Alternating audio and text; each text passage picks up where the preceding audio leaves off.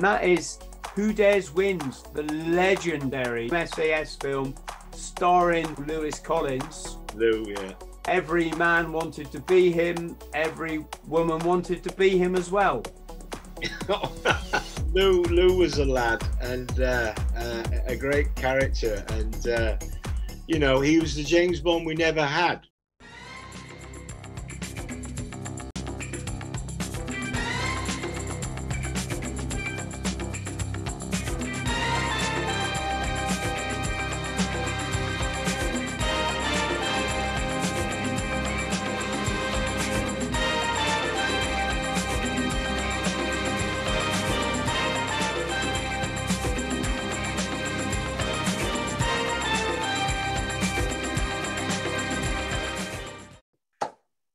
How are you, mate? Living the dream. How about you? Yes, I'm firing. I'm delighted to have you on the show today. Great to be here. Thank you for inviting me. Well, I, I, I literally feel like the luckiest man in the world, mate, because I just get to meet the most fascinating people, and um, and just have the conversations about stuff that I want to, in it, like stuff that I consider not not important. I mean, not every conversation has to be important, but they have to be more interesting than what what soap opera, operas on the telly or you know or just about football. You know, football's great, but but but when you got that mate that he only can talk about football, it's it's like, dude, come on, you know you you've got children. They, they want to know they want to know other stuff. So so absolutely brilliant. Shall we say a thank you? Um, so i should just say mark ryan friends at home. Um, big hollywood man has has uh, smashed out all the transformers movies as our american brothers and sisters call them films as we say in the uk also a former intelligence operative and and also which is quite relevant to the video that i did with john hegan the other day which i suggest everybody watches there'll be a link below if i write it down to remember it that is and that is who dares wins the yeah. legendary SAS, the classic all-time SAS film, starring um, our all-round hero Lewis Collins. Lou, yeah. Every man wanted to be him. Every woman wanted to be him as well. Something like that, Mark, isn't it? But Lou, Lou was a lad and uh, uh, a great character, and uh, you know, he was the James Bond we never had. Although with all due respect to Daniel Craig, who I like, and to Sean Connery, uh, Sean, um, uh, and to Jason, uh, Lou was the James Bond that we never had and should have been. Yes, I loved it when Daniel Craig became James Bond because he wasn't the toffee nosed toff that the some reason the Hollywood had decided would represent James Bond because James Bond was a tough cookie. He was orphaned at a young age, so he's a, like a lot of us, a trauma sufferer from from birth or from from from youth or infancy, I should say. And of course, he was a hard man. Well, the books, uh, I, before we even wrote, we'll go off on a tangent. The books are actually brilliant. Of course, written by Ian Fleming, who was an intelligence operator during the Second World War. His brother is less famous, but more, uh, actually more mysterious. Uh, Peter Fleming actually worked directly for the London controlling section that was run by Churchill. So Fleming's older, smarter brother, Peter, was involved with some of the most strange and the most interesting intelligence operations of the Second World War. So Fleming drew a lot of that, obviously, that information and obviously the later information about Russians. But probably the best, one of the best spy book novels ever written is From Russia with Love. It's absolutely brilliant. Yes, I like the old James Bond books. It's very funny reading them now, though, because there's so much stuff you just you wouldn't get away with as a novelist. And I've written two fiction books, and you wouldn't get away from it from a a political correctness point of view. Absolutely, yeah. And that's yeah. the, it's very dated. Some of it, like every time he meets an animal in a nature, it's a it's a man killer. When actually, no, it dude, that's just a fish. You know, it's they're, they're pretty pretty freaking tame, Mister Fleming. but he was he was um linked to intelligence, wasn't he? Peter uh, or Ian? Yeah, Ian. Ian. Sure, he worked for naval intelligence during the war. Hmm. He worked uh, um, with If you want me to go off on this, I will. I mean, there's a lot of discussion who M is in the books. I prefer to believe that it was actually Sir Stewart Menzies, M for Menzies, who was head of MI6 or the Secret Intelligence Service, SIS, um, uh, that's who he based M on.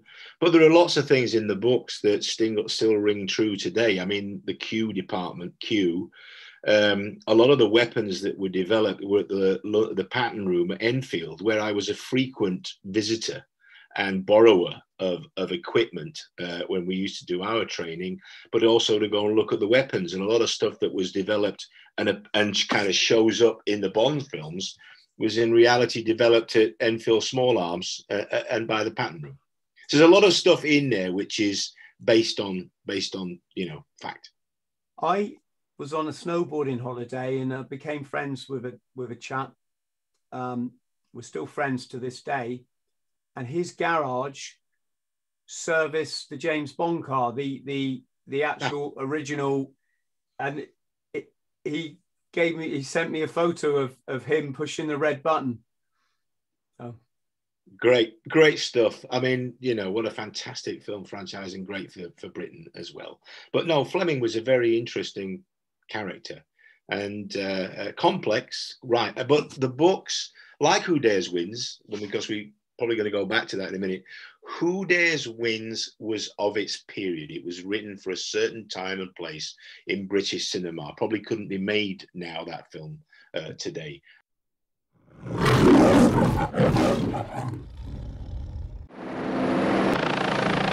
Morning, gentlemen. Good morning. Any fun?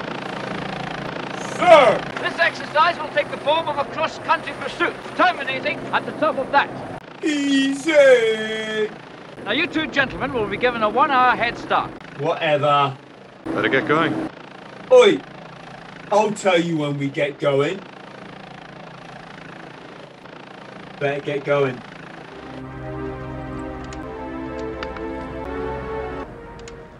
Fuck, Smudge. They're already here. Oi, get off me, you knob. You are shit in the professionals. Shut your mouth. I prefer Doyle. Right. And ask one question, one question only. Now that shouldn't be too difficult. Sorry, what are you gonna do? Ask one question, one question only. How many questions? Ask one question, one question only. Or are you two alone? Can you borrow my phone? Are you two alone? What? E.T. go home? Are you two alone? Give a dog a bone? Are you two alone? Pass. Give me one on sport. That's not the answer. Didn't hurt. Didn't hurt. Didn't hurt. Can you scratch my nose? Thank you, I will. There you are, sir. Just right there. And Fleming's books, the original books, and some of the early films Bond films are of their time. You know, they look terribly dated now, but of their time, they were, you know, uh, groundbreaking. And certainly there's a lot of stuff in there which is was prophetic in many ways. Yeah, so I'm just gonna. If you see me looking looking across, Mark, I'm not being rude. I'm um, I'm just watching the horse racing. no, I'm just getting up on the other screen some pictures that I can flick up for for people for people at home. So you'll just have to trust me that they're all good and decent, and it doesn't say Mark's a knob. it's all right. People are saying that anyway out there, mate. Don't worry about it. Yeah. So just flashing a picture up of our man, our man in um, Barbados, wasn't it? I think Ian Fleming retired too because he's he yeah. used to be a big fan of spearfishing. Yeah, and he, he his house was called Goldeneye. You know, that's why the film was called Goldeneye because his home was called Goldeneye uh, in in uh, in the Bahamas. Yes. So before we begin, let's just give a special thank you to Martin Webster, Yeah. Martin was on the podcast the other day. It's a great episode, folks. We're, we're waiting to air. Martin was the chap who you might remember in the News of the World footage um, a few years ago was on top of a building in Iraq and he was filming with his camera uh, what looked to be a, an untoward beating of, of Iraqi civilians. Uh, and after my chat with Martin, I've just had a got a completely uh, different insight into that event. He he made a film called The Diary of a Disgraced Soldier. Um, I'll put a link for it below where you can watch it online, folks. Very nice man. Um, and so yes, so Martin, big thank you. Mark, can we go straight into who dares wins then? Well, sure. Whatever you, whichever way you want to go. Yeah, let let let's go for that because I know a lot of our uh, our viewers will be um, interested. I tried to get in the SAS, um, and I failed uh, because I was too hard. But you know, yeah, yeah, I can see that about you. You've got, you know, it's your eyes, mate. You know what I mean? Immediately. It's the one inch punch that I perfected, or is it the double that I? That's what. That's what it, frightens people. Yeah, well, it's it's that or the thousand yard stare. You've got to practice the old thousand yard glare. That's just, that's just when I'm when I'm stoned. I, I well, let me give you the background to this because uh, um, I'm sure some of your uh, uh, uh, listeners will be interested or, or, not. But anyway, I was doing a show in the West End called Evita, and I was playing Che Guevara. And um, uh, I'm actually going to just change that. Oops, easy. I should have done that anyway. You can probably edit that bit out. That's right. We'll, we'll keep rolling. Um, and I, I was doing a show in, in the West End called Evita and I'd already met Lou. I met Lou up in Manchester when he was doing the Cuckoo Waltz. So we'd been sort of pals on and off. And I bumped it, we kept bumping into each other at do's in the West End. And um, during the day, my family, I come from a long line of military people. I come my, going back to my great grandfather. We served all over the world. My father and his four brothers, three brothers, all served in the Second World War. I grew up in it with a history of people serving the First World War, military medals and all kinds of stuff. So um, it was just a tradition in the family. But I'd gone into the music business uh, uh, and the entertainment industry, and I was, uh, but uh, as we all did in those days, everybody was, you know, wanted to do something, surf somewhere. All of my pals, all my mates were kind of involved. So we used to go regularly to the Brecon Beacons and run up and down the Pen, Fan and all that kind of stuff. So we used to go up there and do that a lot. Um, and I'd finish a show on a Saturday night and we'd drive out to Wales and go up and down the mountains and run around the mountains and come back and go back to the show on a, on a Monday night. Um, and anyway, I actually bumped into Lewis Collins uh, in the Brecon Beacons. It's absolutely true story in the middle of nowhere with Tom Conti and a bunch of other people and Ian Sharp, the director of Who Dares Wins. And we literally bumped into each other in the middle of somewhere. And um, we got chatting. It was raining, of course. We just uh. I said, what are, you, what are you doing up here? Why are you up here now? Because I knew he was involved with Ten Para at the time as well, um, which he passed, of course. He, he had his cherry berry. And um, he said, Oh, I'm training for this film I'm going to do called Who Dares Wins. Ian's directed it. So I got chatting with Ian, Ian literally in the Brecon Beacons.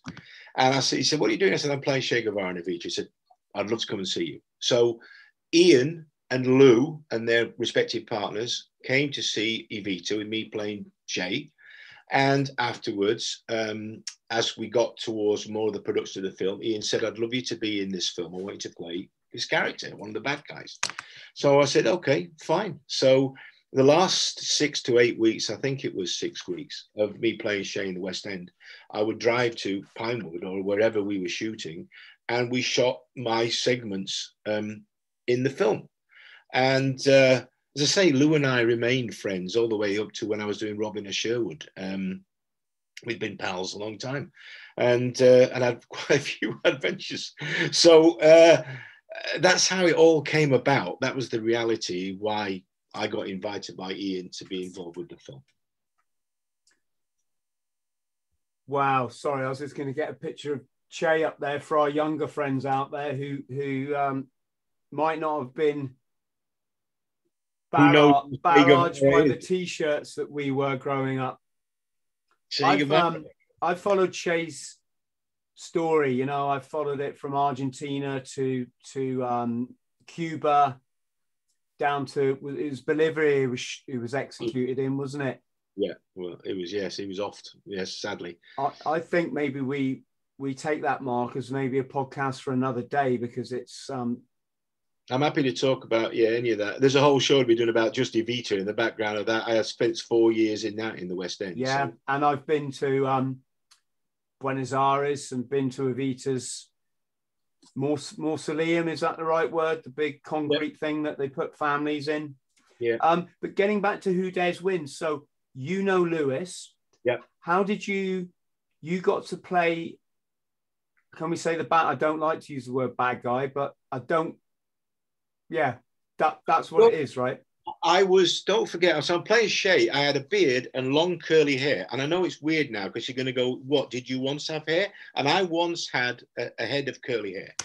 And um, uh, so I looked very, very sort of uh, Mediterranean ish. So I was playing Che Guevara. So I ended up playing Nazir and Robin of Sherwood. And um, that's also due to Ian Sharp. Um, and uh, he obviously looked at me and went, Oh, he, he's going to play like a bad guy or one of the terrorists or something. So um, uh, that's our cast because of the way basically I looked, and also I was obviously playing Che. So um, uh, I ended up playing one of the bad guys, and Lou was desperate to shoot me. That is absolutely true. He was st- all the way through the filming was, I'm trying to have it rewritten so at the end I can shoot you, which then became a joke. Um, but I was actually shot by a stuntman called Terry Forrestal, who was also uh, in the Special Forces. And uh, Forrestal died uh, during a parachuting accident, as is a base jumping accident some years ago. But Terry was uh, uh, was the, actually the person that shot me in the face. But Lou was desperate to do it, so he but he never did. He never got to shoot me. Can we just um just just go back there a sec? Did you say an SAS guy that died in a base jump? Yeah, Terry Forrestal was a member of the regiment. He wasn't that chap that was on a documentary on the television, was he? I don't know um, which documentary are you referring Oh, I was chatting the other day with one of my base jumping friends about this. I'm not sure if it was Mike McCarthy. Um, yeah, I can't quite remember. Well, there was two. Tip Tipping is was one guy. Tip Tipping was a guy that was killed in a parachuting accident. Yeah, and I've had Andy Guest on the podcast who was um, in the Royal Marines free fall display team, and Right. they were. Um, I was asking them if they knew. I saw a documentary about ten years ago, probably fifteen years ago now, and it was an SAS guy parachuting up there in Norway where they jump off the cliffs in the in the Yeah. base jump. Yeah. And he turned. He was turning to his mates and going, "Do you know? I don't quite feel right about it. You know." And there's a key, a key sign of like where you shouldn't be throwing Should yourself. You know. Yeah. And of course, yeah. Well, I say of course, but it, ultimately, he this chap died, and now now that you mentioned it, I just wondered if it could be the same person. Well, it might have been because what the case was um, followed a, for a couple of days because what actually happened was he was brushed against the cliff face. He was forced against the cliff face by the, the wind and he ended up on a ledge and he, he'd already got two broken legs, uh, Terry, uh, from a previous stunt that went wrong from on a motorbike. So he had he re-broke his legs. And so he was on this cliff face, but it was too windy to get a chopper in. So he was literally on this cliff face, um, waiting to be rescued, but they couldn't get to him. And from what I understand, he either decided to get off the cliff and try and open his spare chute, or whatever, or he got, or he fell off the cliff, whatever. He slipped off the cliff face, and and he very sadly was uh, uh, he was killed in the accident. Oh yes, it's that Teddy thing, Forrest. isn't it? It's better to die being a you know living like a tiger than it is to live live as a coward. Teddy was a Teddy was a good stuntman, and um, you know, as with all of these things, and I know plenty of people. Martin Grace, for instance, being a good pal of mine over the years. Martin Grace was also uh, one of the best Bond stuntmen ever. He got injured quite seriously on a Bond film, with broke his legs, um, and uh, you know, you you, you want to go out shining. You don't want to go out, you know, with a whimper. And um, these guys understand risk, you know. And what I didn't understand about that was, and it does happen in this business a lot.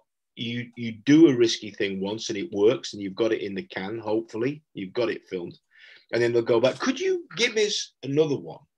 And that is always when the accidents happen, is when you just go beyond that one thing of of safety, and that is when, and it can sometimes be fatal.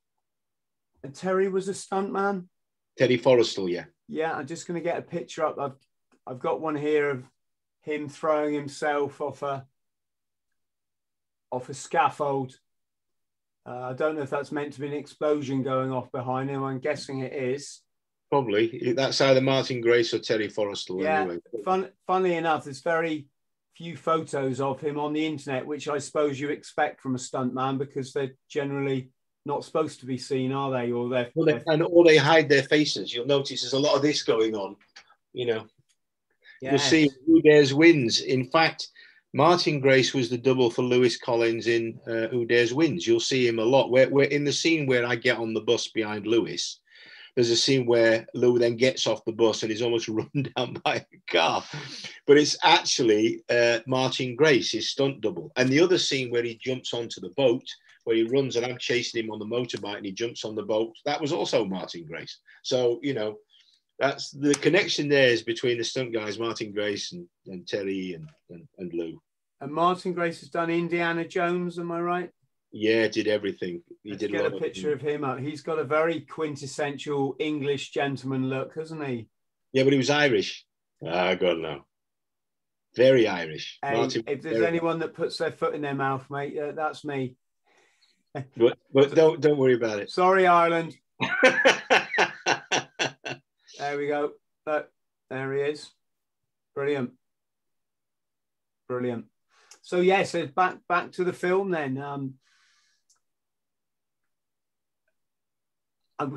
what's it like to know Lewis? Then I was going to say what's he like, but that's uh, I'm not into dishing dirt on people, but but maybe there's some stuff people would like to know about the the, the well, legendary side of his character. I'm I'm which I'm sure.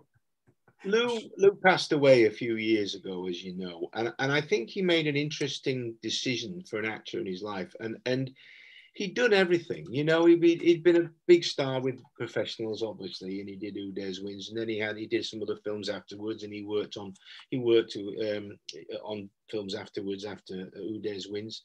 Um, but I think he got to a point where he wanted to break the mold and go off in a different direction. So he went to California and uh, started a computer business. And I think he did a few bits and pieces here and there, and he did some fan conventions.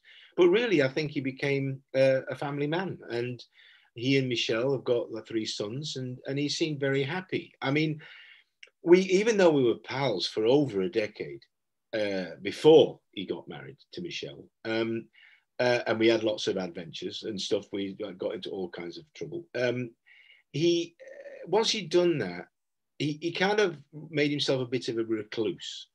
And I was asked, I have been asked many times to write stuff uh, for his various autobiographies that have been attempted. And I've always said to the writer, Do you have Lewis's permission to do this? Um, and they went, No. And I said, Well, if you get Lewis permission, um, I'm happy to tell you stories. I said, But I won't if he doesn't want it. I mean, it's different if it's coming from me because it's my personal impressions and experiences and I'm free to talk about my experiences with him as a bloke. Um, but I don't want to write or speculate about anything else about it because I don't want to spread. I wouldn't want to be seen to be spreading. This just came up recently with an interview I did about him. You know, it's uh, why anybody would think I would do that. I don't know.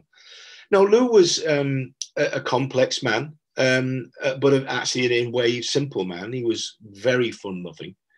He was very full of uh, jolly japes and actually uh, a master of comedic one-liners and timing. And I know people don't get that from him, probably in some of the work that he's done, but he was a very funny, uh, fun-loving, you know, big softy, really. Um, and I think he probably, uh, like all of us do at some point proceedings, said, okay, well, let's find out if I could be a para. Let's find out. So he did do his full para training with 10 para. Um, the man that trained him was a personal friend of mine called John Newman, who was one para. And uh, when when they were up at Finchley, of which I've slept on that drill hall floor once or twice, and uh, Lou passed P Company and he he got through and he got his cherry berry and he got his wings. So I, I respect him for that. I respect anybody that's done any service that's thrown themselves in or volunteer. I never have a bad word uh, uh, to, for anybody that's done that, unless they're being stupid. In which case, then you just got to say, "Look, mate, you know, wind it in." Mark, You can know, I but- just chip, chip in here? And I mean, no disrespect to anyone. It's just not who I want to be. But we did have a subscriber the other day said he didn't actually pass his jumps course. He he he, I think, injured his leg on the third jump, and the guy that was writing this knows the uh, the DS on the course, so the staff. I'm not trying to be controversial. I'm just trying to No, no, acknowledge, acknowledge the, the chap out there that that said that, that that he sounded like he knew what he's talking about is what I'm trying to say. But Well, ask him this this person. You can ask him if he knew Colour Sergeant John Newman, B E M. And I know from John that he did get his wings, and he went back and completed the course and did the seven jumps. uh, Now, there may be some, uh, as I've heard myself, I've heard everything, even people from my side of the, the, the business. I- I've had every story from, oh, Lou got beaten up in the Special Forces Club and was kicked, got the shit kicked out of him and all that and got thrown out on the street. I have asked people in the regiment, do you know this story? Have you ever heard a story about Lewis Collins getting beaten up in the Special Forces Club because this bloke said it and I don't believe it because I don't think Lou's like that. And he said, I've asked people and they've gone, never heard that story. But you can ask Rusty the story about him going to Hereford and them having a few jars in the bar, if you like, at Hereford, because that's a true story. I know that's a true story. So a lot of people have got stories about um, what they think they know about people. I can only tell you what I know. And so I was told by John Newman that he completed his course, he got his wings and he got his berry. yeah, and and everybody knows if if two two SAS tried to rough up Lewis Collins, he just turned around and beat them all up. I've seen the film. I've, I've seen the film. See, you know, Yeah. Lou could handle himself. Don't get me wrong. Lou Lou could handle himself. Lou was very physical and he knew how to throw a punch, and uh, he certainly wasn't backwards in coming forwards. You know, and like a lot of people, I'll, I'll just name drop because it's true. Um, Ray Winstone, all of these guys that have got that persona um, uh, in their film career doesn't mean they go out looking for trouble, but people go looking for them people want to go, oh, I beat up Bodie in the pub or I beat up Bodie in the club or whatever. And suddenly, from what may have been a bit of pushing and shoving and a bit of, you know, sharp words, turns up, oh no, he got the shit kicked out of him. Well, I can tell you the same thing with Ray. Ray knows how to throw a punch. Ray boxed for England. So Ray knows how to throw a punch, right? Uh, Lou knew how to throw a punch. Now he may well have got a bit leery, and he may he may have been asked to leave. I don't know, but I've never come across anybody told me that they kicked the crap out of him. It's you know I I kind of had the, the the same thing a little bit, but it's usually just online chatter. People don't know you. You know what I mean? They assume they know you because they've seen you. But Lou, Lou I, I I'd not heard that myself. Shall we just clear up then? Not not that it's our job to, and again, not that I really care, but did he pass sele- SAS selection? Is that is that the rumor is friends at home um, that Lou passed SAS selection, uh, whether that be through the reserves, uh, I'm guessing through the reserves, and then was denied a place in the regiment because of his fame. Well, I think a lot of it comes from the misunderstanding of what that means, and so let me uh, let me clear that up. First of all, he went on selection for 2-1 SAS, which is the reservist element Artists Rifles. They're now a different role uh, than what they did originally during this period. They had a different role in Europe than what they have now. But 2-1 SAS, uh, he went on selection for And my understanding is he he passed the first phase. It's like anything. It's like people think you become a member of the intelligence corps and they just hand you a Walther PPK in a tuxedo and say, off you go, you now speak German or something. Off, you know, it's not the way it works. Mechanically, what uh, happened from Lou's own mouth to me was that he passed the first phase, which was probably the, the beacons phase, the physical phase, and running up and down phase. Because the next phase would have been jungle. He would have gone to Belize and he would have then gone through a, a, a resistance to interrogation phase, which I don't think he got up to. I think he got up to the first physical phase and he passed that. And that's when they realized that having Bodie, you know, if he ever did actually, he couldn't really fulfill the role because he would have been, he was too high profile. He told me that himself. And he said that one of the PSIs came to him and said, mate, you, you're too high profile. Everybody knows who you are. We, would love to carry on and it's great. It's been great for the lads to work with you, but it, it just is not going to work because you, you, you, everybody knows your face. I guess we should point out we were doing a lot of work in Northern Ireland then, weren't we? And well, two one wasn't. Um, the the the actual the reality of it is is that a reservist can work um, for uh, the British government in war zones. It's it's a fallacy that TA soldiers don't don't serve overseas. They do. And in the old days, you used to be able to take what was called an S type engagement, which basically meant you were temporarily made a regular soldier. And so you became like in the Gulf War, there was plenty, trust me, there was more than uh, reservists than you would imagine serving in the Gulf. And there was more reservists serving during the Bosnia campaign. People don't, I know people don't think this. I know reservists don't, uh, regulars don't like it, but that's true. The truth is the British Army cannot function without its reservist element. That's a fact. It's a pure fact. And under now, under recently, what the changes, the British Army more than ever cannot function without its reserves.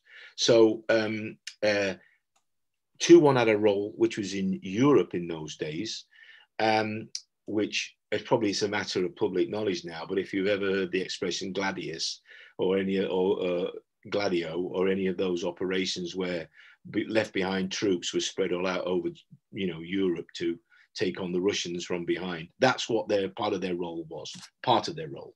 So it's changed a bit now.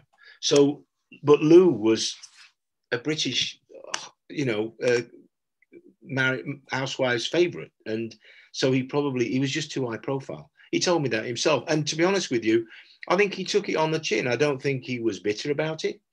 You know, I think he was kind of like, I get it, I understand. You know, um, uh, so that's that's the story that Lou told me. I mean, I'm sure there's plenty of other people out there that are going to come up with, oh, he's wrong. That's not the whatever. I can only tell you what Lewis Collins told me himself. Yeah, I I sympathise with him because did I tell you I didn't get in the SAS? Um, yes, you did say that. Yeah, but you know, but but as a lot of it is about if your face fits, and you can ask Rusty this, you can ask any of the boys this there's a lot of personal um, what can I say? Choices are made about who they think. The, the whole. Have you ever heard the expression "the grey man"? Well, that's a um, that's a very often quoted term, isn't it, with respect to getting into the SAS or the intelligence corps? Being the grey man, don't get noticed.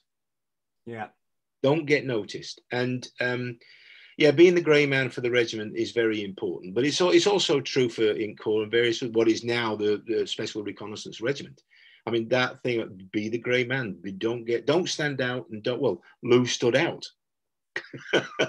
he was fit. I can tell you that. Lou was a very, very fit man. Yes, it's also. I think what we don't know, what we don't realize about celebrity, especially in this sort of X factor culture where you can be a hairdresser one day and to, next day you're a you're a number one selling artist, is these folks they've done this from a very young age. They're incredibly talented, aren't they?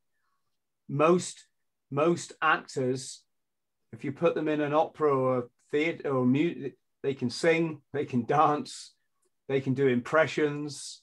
They're they they're they're quite funny.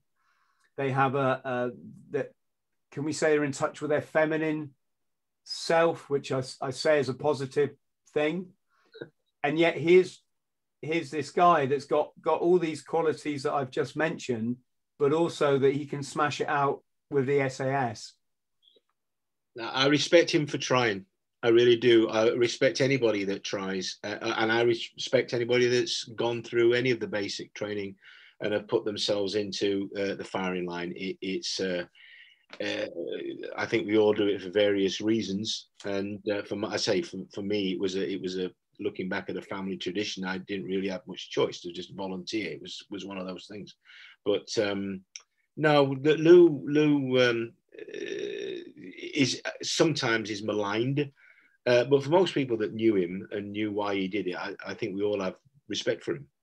Yes, I'm wearing my Adidas top in um, in homage to Lou today because pretty sure he wore one of these in the professionals. He always was quite cool. So, uh, I can tell you this: who dares wins, and I know this from people because I, you know, I lived in California now for, you know, I have homes in a couple of places, but I, I lived in California for 25 years. I still do and uh, obviously, you know, many people in law enforcement and in the intelligence business, their security business, who dares wins is studied, was studied by uh, everything from the intelligence community to law enforcement in terms of the psychology of it, the techniques.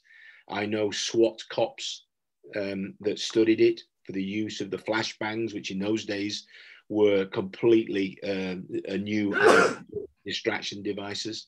So um, the whole thing of MP5. Uh, I shan't really. Well, I could. I'll say his name, Phil Singleton, who was Mr. SAS um, MP5 uh, representative around the world.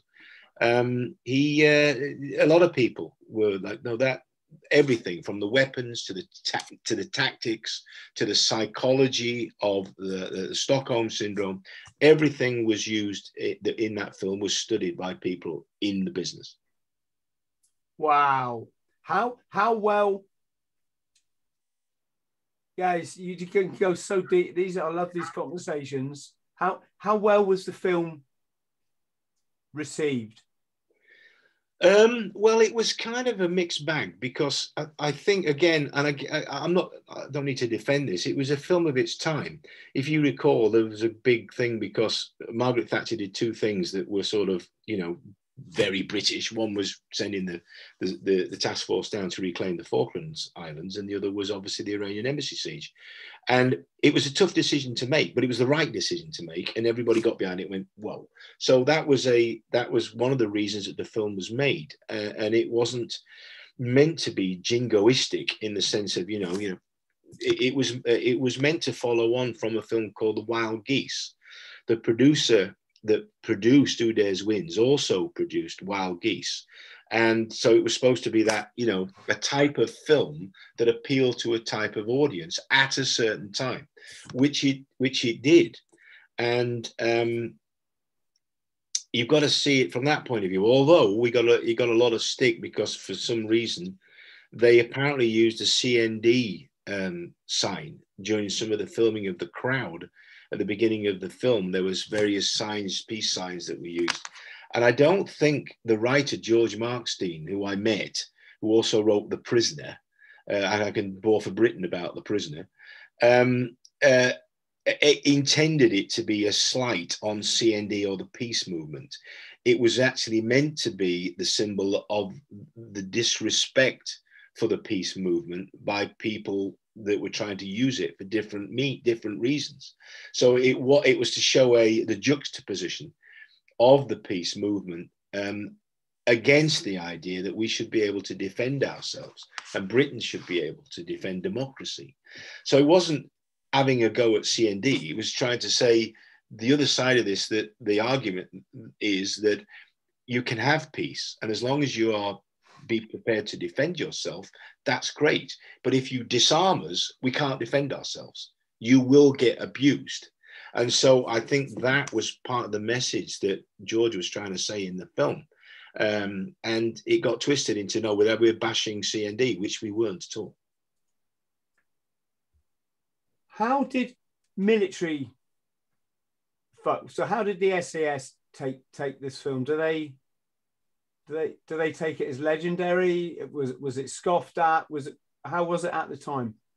I think the best review is by Rusty Firmin, um, who went through the film, the techniques, the actual house clearing techniques that, the, that, are practiced at the Killing House are pretty are pretty spot on actually. And don't forget these are the days we're running around with a respirator, an S6 respirator, and a Browning Hi-Power. Um, this was all revolutionary stuff. It had not never been seen before, and the use of flashbangs and distraction devices that were first used uh, in Mogadishu, I believe, um, taken out by the regiment to, to this concept of having a distraction device, the flashbangs. That was all new stuff. It never been done before. And it was a tremendous risk. The actual raid itself, people go, yeah, but it was so well planned and all that kind of stuff. It could have been, uh, but there was a lot of unknowns. And the unsung heroes in that situation We're actually the negotiator. I've, I've met Trevor Lock. I've talked to Trevor Lock. So I know what the situation was inside the actual embassy. And the actual VZ63, not the Scorpion, but the other Czech machine gun that one of the guys had, I've handled that weapon. So there was a lot of risks that were taken in terms of, and they, the regiment carried off that raid brilliantly. So I think the film itself was seen as a, um, the techniques and everything were, were seen as pretty spot on. And at the end of the day, Lou did go to Hereford and did go to the Killing House with Ian Sharp, and they studied the techniques and put it into the film. So there's a lot of stuff in there that people go, like even the wall imploding, where we uh, end up being shot. I got shot in the house in in in the Mews. That where they implode the wall, you can talk about whether it was physically possible to do that or not. But the removal of the bricks to put in the listening devices, again, I know where those actual listening devices are. Um, that was all real. They actually did that. They actually removed the bricks so they could get listening devices through the walls so they knew where people were. So there was a lot of it technically, which was spot on. Yes, it's interesting. Um, I read somewhere, I've read a fair bit about the SAS, the formation of the SAS, uh, Colonel Mayne, so Yeah, Pat, Paddy Mayne. Mayne. Um, I like. I'm, I'm not a warmonger, and I'm a. I think there's better ways, let's say, but I do like reading the old military stuff because it's. I like real life. I like to spend my. If I'm going to read, I want to read real life stuff because there's so much exciting stuff out there. And um, I did read somewhere that a significant proportion of SAS operations go tits up, basically, which, if you think of the nature of what these men are willing to do, they're all willing to not come back, aren't they? Which is a brave thing in itself. And by this, I refer to all of our all of our armed forces. Um, but the embassy, my gosh, it it it all could have gone so wrong, couldn't it? I mean, there were things that that didn't go to plan. They say no, no plan survives first contact With the enemy. um, with the enemy. We we had the guy hung up on the rope, which was just unexpected. He's but but on fire on a rope. Um, when that charge went off in the famous BBC clip, almost looked like it took the guys out, and then it was it was a significant amount of time before they got back in through that window. Certainly enough time to execute most of the hostages. Um, and again, I mean this no disrespect. I'm just saying that that this it it could have had a very different outcome, couldn't it? Well, one of them, as we know, um, had an RDG5 Russian hand grenade, which he didn't he didn't pull the pin on. It wasn't till later on that he was coming down the stairs that one of the lads saw that he had a grenade and whacked him on the back of the head with his MP5, and then he got then he was then he was shot because he was trying to pull the pin out. But if he'd have pulled that pin out in the room where the hostages were, as soon as he heard that first bang, there would have been lots more dead hostages. And he just didn't do it. We will never know why. You know, we don't know why. I, I think I know why, because again, I I got some insights from Trevor Lock about his battle with Aoun, number one terrorist at the back, when the guy put his foot through the window. Um, and a lot of that is to do with the Stockholm syndrome. And uh, anyway, if if he'd have pulled the pin on that grenade, which we know he had, or they'd have picked up the little submachine gun that they had and decided to execute people, it would have been a very different story. Yes, and I um, oh, yes, very much so. And I've had Robin.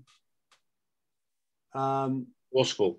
Yeah, Robin Horsfall's been on the podcast. I think three three times now, and he was one of the chaps at the bottom of the stairs that put some rounds into this this uh, unfortunate gentleman. Um, and also, we're going to get Rusty. Uh, well, as you know, because we've both just been speaking to him, but he's he's um, he's going to come on soon, and he's quite aware as to uh, the defence landscape. Let's say where where where we're heading as as Europe. So I'm keen to to probe him probe him there. But back to the film, Mark. what what what were there any bloopers on it? Were there stuff that went wrong? Were there any accidents? It it was quite. Did, were there any um, service personnel that did the stunts, or is that all taken care of by stuntmen? No, there were advisors All from women. the regiment on the set. Eh? I said I said I did a blooper. I said stuntman. You're not allowed to say that anymore. It's stunt stunt persons. or stunt performers.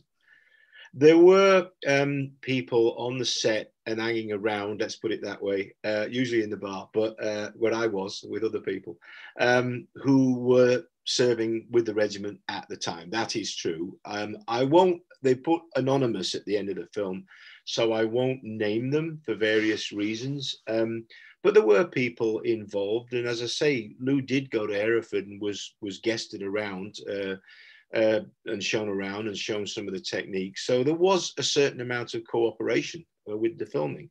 Um, although the stunt team themselves was run by a guy called Bob Simmons. Bob was one of the original James Bond stunt coordinators, and he coordinated the action per se in the you know, little bits of stunts that we did. And obviously, we had the choppers, Ministry of Defence lenders the um, uh, little scout helicopters. Um, there was a couple of times when things got hairy, particularly up in Snowdonia when we were filming the scene, because I was up there with Lou during that period. Um, Ian had got them on the edge of a cliff, and Maurice Roëves, who uh, is the officer that jumps out of the helicopter, wow, that chopper pilot, I believe his name was John Cowie, but there was actually more than one chopper pilot. But anyway, the weather was atrocious, and how he managed to hold that Skype that scout helicopter on that edge. I don't know. He did a tremendous skill. And I remember they only tried it twice again because Ian was like, we don't need to, we're not trying this again. And um, Maurice almost fell out of the helicopter. he almost fell out of it. And he told me afterwards in the bar, he said, I was terrified. He said, literally, because he suffers from vertigo, he thought he was just going to fall out. So he was riding the skin, hanging on, and he was literally hovering above, trying to land this helicopter in this gale. And um, basically fell out of the helicopter. and uh, we got away with it though. But but other than the actor that got got his nose broken um, during the interrogation scene by accident, who landed a punch on somebody, um, and uh, he, it, it was it was a pure accident. There was nothing about it. He just clunked the guy in the wind, and he had a big hood over his head. And you can look if you look carefully, you can see the difference in the body shape um, of the guy in the hood and and, and the smock. Uh, other than that, really, there wasn't really any any damage. There was nobody injured seriously. Mm. I'm just going to chip in here, Mark, and say for friends at home, if you haven't seen this film and you'd like to, I'm going to put a link uh, below this video where you can buy the DVD. So treat yourself, have a Saturday night in, and um, watch this classic. Mark, I'm conscious of your your your valuable time, so let's um, I'm I'm good. You can go as long as you like. If you want to chop it up, whatever you need to do. Good man, good man. So, um, should we talk about the the Int Corps, your work in, in in that, and if you can give some examples of any daring do that, that goes Daring on, or Well, I'll, I'll let me. I'll preface by doing this. My, I, I, don't regret anything I did with the intelligence corps, and I learned a lot, uh, and it gave me a lot of experience. Which later on, when I moved to California, because of my then clearance, I ended up becoming a licensed private investigator. So I was a security consultant and a PI for 20 years in California. Got to work with a lot of people. So I owe a lot to the intelligence corps, and. Um, I guess it was kind of a unique situation because the company that I was a, a member of um, had some very interesting jobs and were support to a lot of interesting areas of the defense world. So um, one of them uh, was support to the special forces. And one of my endearing memories, uh, you being a Royal Marine might, you know, uh, uh get this, was um, serving with uh, Paul um, on HMS Fearless in a force 10 gale. And we lost uh, contact, radio contact. We were bobbing about in the North Sea and we lost contact with the entire squadron. and uh, for 24 hours, everybody was panicking like mad, going, Where are they? And as you may or may not be know, they have a, had a couple of special boats that were designed for certain tasks were very expensive and very fast. Anyway, we'd lost them, couldn't speak to anybody. And um, there was a certain amount of panic going on. And uh, I remember being what was called then, there was the head shed on the, uh, on the superstructure of Fearless. And the literally HMS Fearless used to corkscrew through the water like this. It didn't go up and down like that. It didn't go from side to side. It corkscrewed and I uh, had to go to the loo in the middle of the night, like 3 a.m. in the middle of this storm. And normally I would have gone through the bridge and down into the superstructure. But uh, as I walked towards the bridge, actually on the deck, fearless, trying not to fall overboard, um, I saw that the bridge was full of people with gold stuff all over and hats and all that kind of stuff um, and Navy ships were retiring broken from the storm. So I thought, oh, I better not go in there. That looks like it's very serious. I'll go down the ladder. So I ended up crawling down one of the superstructures ladders of the boat. Um, and as I was crawling down the ladder, Fearless rolled like almost at 45 degrees. And all I could see was the North Sea below me, literally. And as I was hanging onto this ladder, I thought, don't let go, you Billick, they'll never find you. You are destined for, to be fish food. So I was hanging onto this ladder, and as I was hanging onto the ladder, as you do in these moments, I saw this line of effervescence going off behind the back of HMS Fearless, disappearing off into the moonlight. Was this of like almost lit pathway following the boat? And I looked and I went, wow, that's what, the, you know, the effervescence of the ocean. I've never seen that before. And then I looked a bit harder and it was actually boats, little boats, little inflatable boats, and some not quite so little inflatable boats, all trying to follow HMS Fearless. So I climbed back up the ladder and I went back to the edge and I said, Is there any news on the chaps that we can't get contact with. They said, no, we've got no radio. We've lost radio communications. I said, you better come with me, boss. So we went out the back of the boat to the helicopter deck. And I went, I think that's probably part of your squadron trying to get back to the boat because I'm not being funny. The waves in the North Sea and a force 10, you're talking 20, 30 foot waves. So these guys were out there bobbing about for 24 hours, desperately trying to get somebody's attention on the back of the boat. And um, at that, I remember looking at that and going, "You guys have got you got arts as big as lions, hearts as big as lions, man." Because I would not want to be out in that sea in those conditions in an inflatable boat. Can you? I mean, anyway. So that's one of the little stories I tell about, you know, my respect for guys that get out of C-130s in parachuting in the ocean, then jump into a rubber boat and they'll go tearing about. I have a lot of respect for them. And sorry, Mark, I, I missed the beginning bit because I was trying to get an image up. Did, did you say that was the SBS? Yes, Paul. Right. Yeah. Yes. It.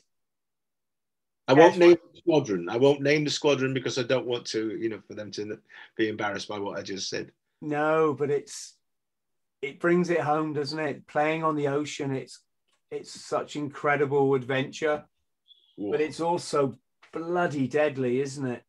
So separates the men from the boys. I'll tell you that. I mean, even if you know what an ISBO suit is, maybe you, if you ever got to have to wear an ISBO suit, an isolation suit, when you're being transferred from A to B, just trying to wear a rubber suit, an isolation suit with all your webbing and your kit and everything else strapped to you, that alone, and you're looking down at the ocean, is um, a sobering thought.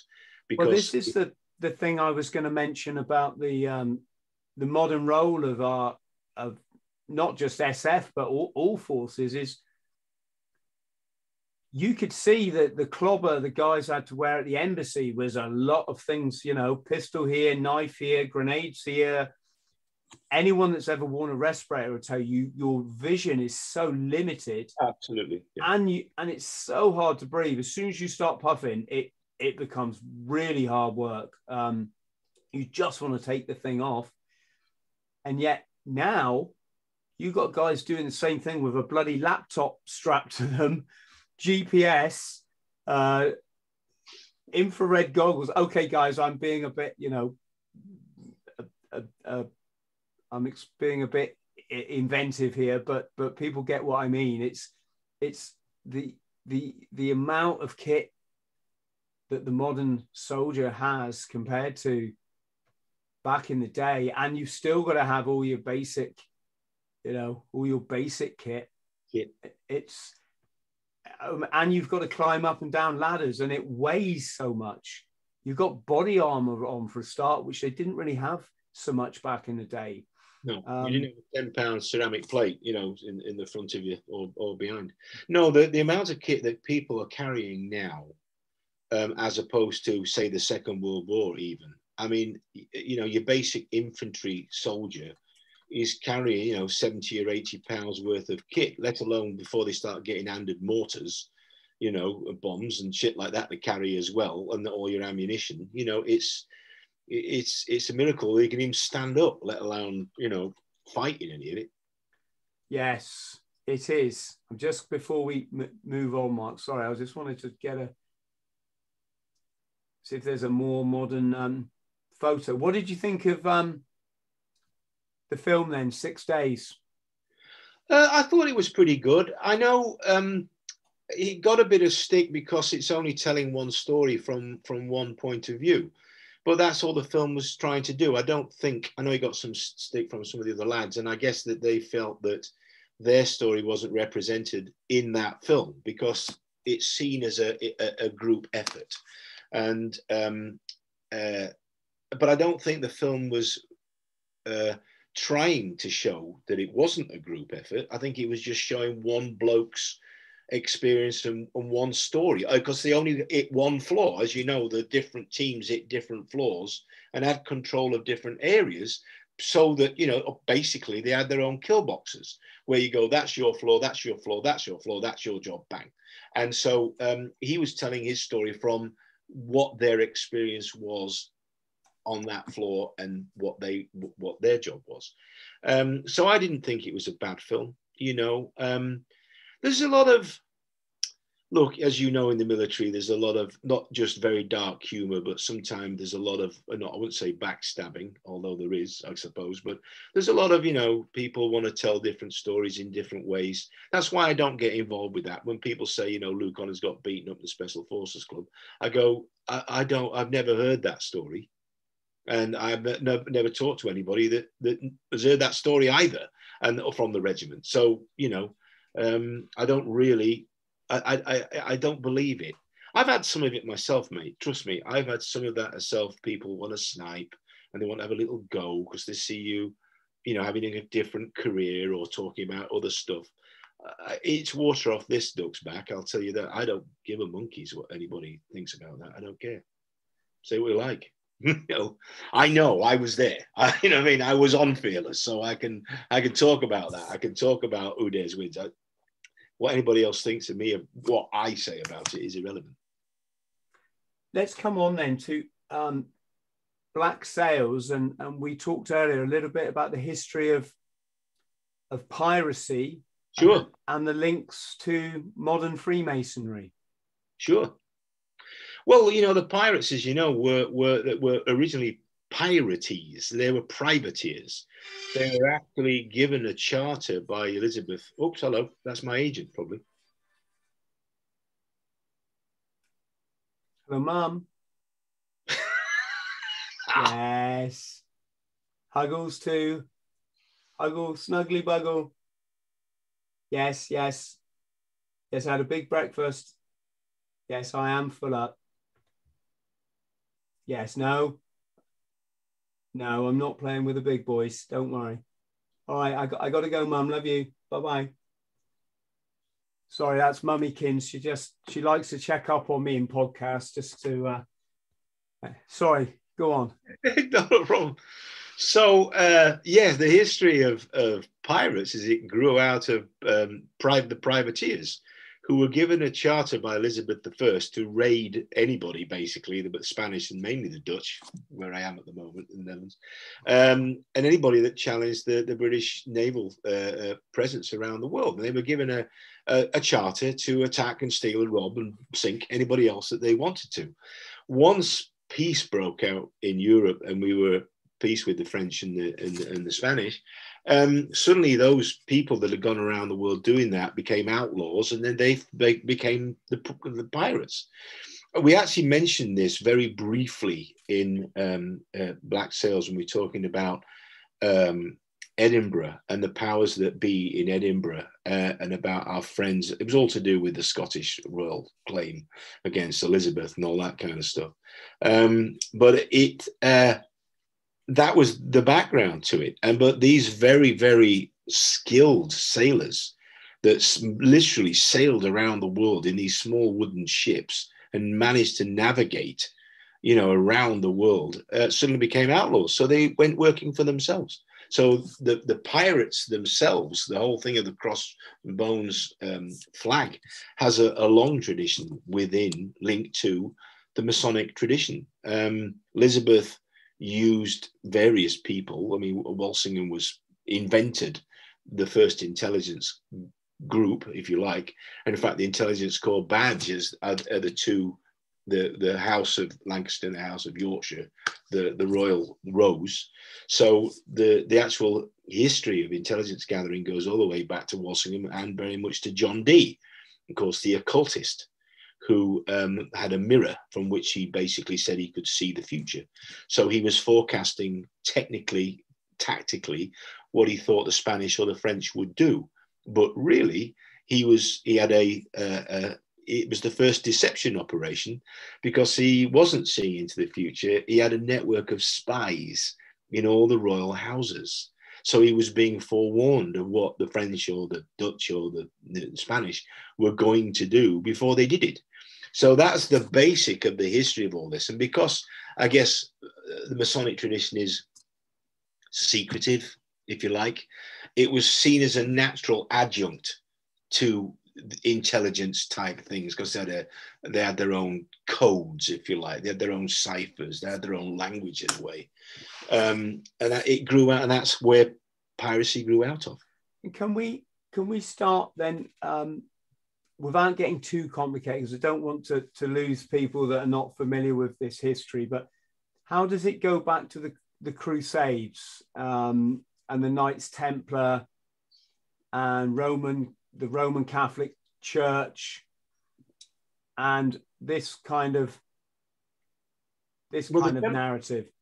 Well, the Templars uh, obviously grew out of the Cistercian monasteries in Yorkshire, which there are several massive Cistercian monasteries.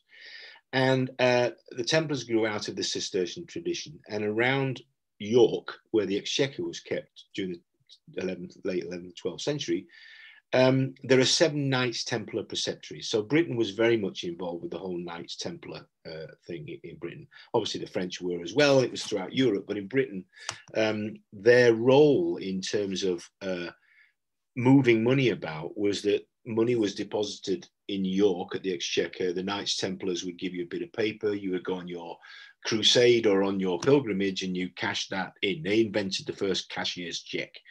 They were also, though, tremendous uh, merchants, and they had a very strong relationship with the assassins. We talked about this in Robin of Sherwood, where the assassins, the assassins, um, had a trading relationship with the Knights Templar, and they exchanged things like the astrolabe, the navigation device. The astrolabe was an Arabic invention, which then the Crusaders then adopted for their own naval navigation processes.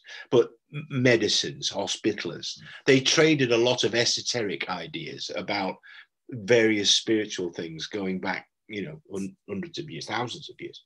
So there was a big exchange of information between the Templars and various esoteric Arabic groups during, even during the Crusades.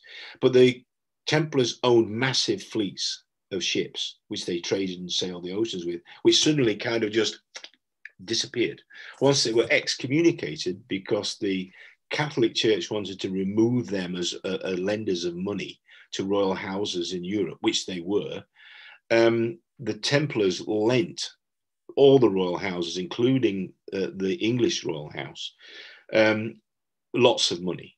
And people wanted to not have to pay them back the money. So they all went along with the idea well, let's excommunicate and take all their treasures, and then we don't have to pay them back. And that's what happened um, in, in, England as well. Um, uh, one of the men who is buried in the Temple Church in the Temple in London, which is named after the Knights Temple in London, the Temple in London is named after the Templar Church, which is there, and uh, a lot of famous Templars are buried there. Uh, but um, the the royal the royal houses owed them lots of money, and this was the best way to not have to pay them back that money was to excommunicate them. And of course, the um, Catholic Church, the papacy, papacy in Rome, went along with that. Yeah. So you had the knights in the Crusades, so going into the the Middle East to fight for um, fight for Jerusalem. I'm just trying to keep this really simple. To fight basically against the Arabic world. Um, obviously, Jerusalem being a, a, a hot spot. Whoever controls that is, well, let's let's just not go there. But then on their return, they were tasked with overseeing the building of cathedrals and, and as such in in in Europe, which is my understanding where they picked up a lot of the Masonic esoteric um, knowledge from the stonemasons, hence, you know, obviously Freemasons, from the stonemasons that were making these magnificent buildings. Then, round about this time, the Roman Catholic Church, as you said, ex- uh, outlawed them, and so they spread. They they they fanned out, as it were, hid in the monasteries, which is why there's a link between the esoteric symbolism and and in and certain monasteries. I'm on thin ground here, but I'm trying to I'm trying to keep it going. But like what um and then a percentage of them took to the high seas. And the it's why today you hear talk of skull and bones, which is Yale's Freemasonic Society, of which, gosh, it seems pretty much every American person of note is is a member of Skull and Bones. So John Kerry, the Bush family, etc., um, etc. Et all the Donald Trump. yes. So, and um, yeah, it says a lot about democracy, doesn't it? When the, the global leaders are all members of secret cults. Well, let's let's just back up for a minute because I think can I can I just finish the point I was getting to is that the symbol of uh, Skull and Bone Society is the skull and crossbones. Yes, yeah, absolutely, yeah. Well, um, but let's back up for just a second. Let's go to, to uh, Montsegur, where one of the one of the last Templar strongholds was Montsegur in uh, in uh, Cathar country, and the it's called Cathar because that was the Cathar religion which was a, a, um, or spiritual uh, element of the Christian church. The Cathars at Montsegur where most of them did their last stand against the crusade, but instigated and paid for by the church in Rome. For instance, they had things like women could be priests. They were very forward thinking. The Cathars believed, even though it was a, a, Templar um, stronghold, that um, women could be priests. They could own property, which they weren't allowed to do. We don't forget in this period, women had a lot of power within this, and uh, the Pope in Rome and the uh, Pauline thought didn't like this. He didn't agree with them. So that was one of the other reasons. It was empowering women in many, many ways. And so um, that was where the one of the last battles actually took place against the Cathars, and they were all wiped out. They were put to the sword. So there was a crusade paid for against another Christian group that had a slightly different view of Christianity, kind of somehow reflected today in many ways uh, in some issues. Um, so once they'd actually uh, disappeared, yes, some of them went back to the Cistercian monasteries. Now, for instance, Fountains Abbey in Yorkshire, which I visited many times, has on its, I guess it's the right transept of the church, a huge green man figure on the outside of the church. So on the outside of the actual abbey, there's a huge pagan green man face right? It was there originally built. Why was it allowed? Well, because the old Christian church didn't see satanic demonism stuff in nature worship. It was all part of a spirituality. And in Fountains Abbey, the green man face on the outside of the church goes through the window, and inside, he turns into an angel. So, as an advertising ploy, the Abbey went, We understand you may have reverence for old traditions and nature and all that kind of stuff, but in here, you're welcome because it's all part of our spiritual belief system. It doesn't matter whether you believe this or believe that. It's we're all creatures under God, so come into the house of God. And in that particular one, not that we know now, um, the angel is holding a what we believe is a, a dated thing where the Synod of Whitby changed all the dates of the pagan, uh, uh, like Christmas and Easter, uh, to align with Christian dates. It had nothing to do with Christianity. Easter's got nothing to do with Christian. Christmas has nothing to do with Christianity. No, you know, we're talking about the midsummer, the midwinter solstice. It has nothing to do with when Jesus was born. It's the mid. It's the midwinter solstice, December twenty first, the coming of the new sun. Yes, gosh, it gets very deep. I got a, a, a, chap I watch a lot, John St. Julian, that's very good at explaining esoteric language, uh, as in the scriptures. Yeah. It's fascinating what, you know, here people think mark of the beast and they, they think, oh, it's this chip that people are going to have in this microchip that's that will come. I'm not I'm not saying the microchip will come. There's people have already volunteered for it. Um, but it's no, it's it's a reference to the mark of the beast is a number, the number nine. And depending on which way you come from it, whether you come from the light side or the dark side, it's numerology. And it symbolizes whether you live in your bestial self, so you're dev, you know, whether the devil controls you, or whether you you're you're in control of your spiritual self. So the uh,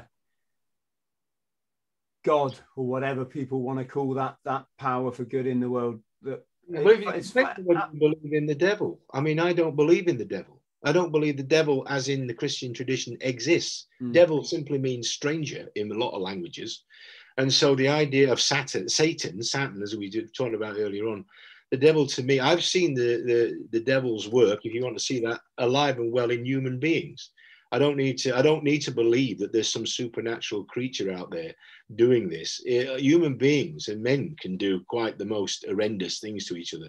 You don't need a devil to provoke that. It's within the human nature to actually do the most evil uh, deeds. I don't believe we need um, to create a, a demonic creature. You know what I mean? To do that. So, just my personal opinion. Yeah, it's quite fascinating because um, it, it, this is the whole thing. It's all supposed to be confusing because while everyone's confused about it and everyone's saying, "Well, I've got a god, I've got the devil, I know I, it's esoteric, oh, it's the sun, right?" it's it, it, it's a it's a huge I wish I knew a cleverer word. I was going to say conflagration, but that's not the right word. It's a huge, Well- it's a huge mixing of all those things because it's supposed to confuse people.